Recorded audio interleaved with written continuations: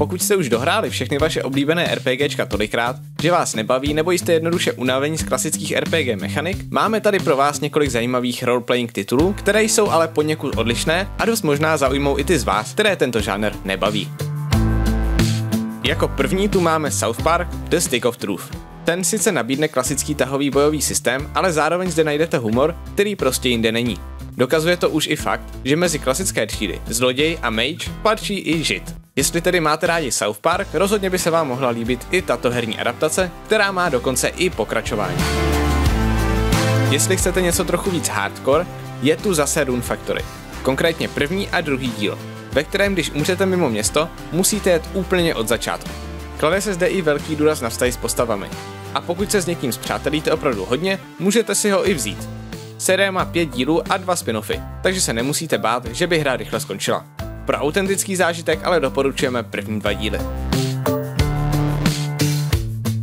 Úplně prvním MMORPG s grafikou a nejen textovým rozhraním bylo Neverwinter Nights. To běželo od roku 1991 až do 1997. Dnes už si sice původní verzi nezahrajete. Nicméně existuje singleplayerová předělávka hry, která vám umožní vyzkoušet si, jak se vlastně takové první MMORPG hrálo. Pokud vás tedy zajímají staré hry, anebo jednoduše už opravdu nemáte co hrát, rozhodně tento titul stojí za vyzkoušení.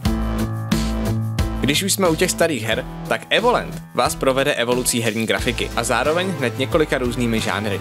Můžete se tak podívat na to, jak hry vypadaly, když tvůrci mohli pracovat pouze s limitovaným množstvím barev a prokousat se postupně až do 3D světa. Přitom si zahrajete top-down RPG, bojovku a plošinovku vše v jedné hře. Evolent je také dostupný i na mobily a má i druhý díl, nicméně doporučujeme si zahrát spíše ten první.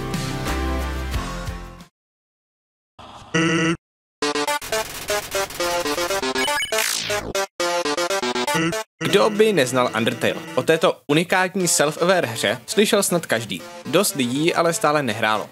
A je nutno říci, že byste ji měli rozhodně alespoň vyzkoušet. Undertale je plný překvapení a nečekaných zvratů.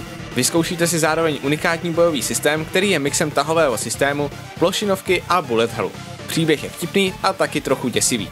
Na internetu můžete nalézt hromadu skrytých dialogů, místností a kdo ví, možná dokonce narazíte i na Gelua.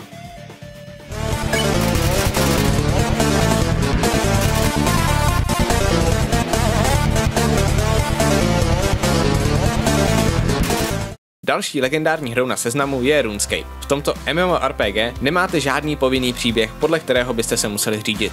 Hra samozřejmě lore má, ale je jenom na vás, kam půjdete a proti čemu budete bojovat. RuneScape už je sice stará hra, ale od roku 2001 byla třikrát přepsána do nových engineů, což znamená, že její grafika je relativně obstojná i dnes.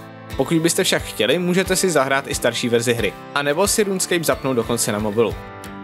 Poslední hrou na seznamu je My Time at Porsche. V tomto novějším titulu budete vyrábět vesničanům vašeho města nejrůznější věci. Vlastníte totiž dílnu a tak nejste přímo bojovník. To ale neznamená, že zde soubojový systém není. Na vaší cestě za surovinami totiž narazíte na nejednoho nepřítele. Jde ale spíše o jednoduchý systém a hra se zaměřuje hlavně na dialogy, výrobu a vytváření vztahu s místními lidmi.